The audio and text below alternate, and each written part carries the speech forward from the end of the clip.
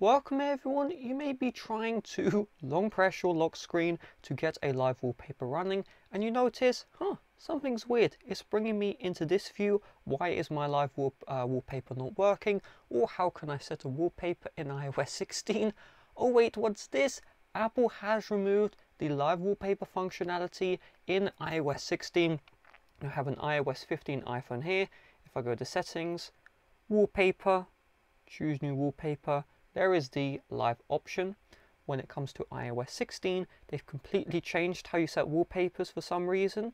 But if we customize the home screen here, we tap on customize current wallpaper, add new, there is absolutely no option to change your home screen wallpaper into a live wallpaper. I mean, you can take a look at this here.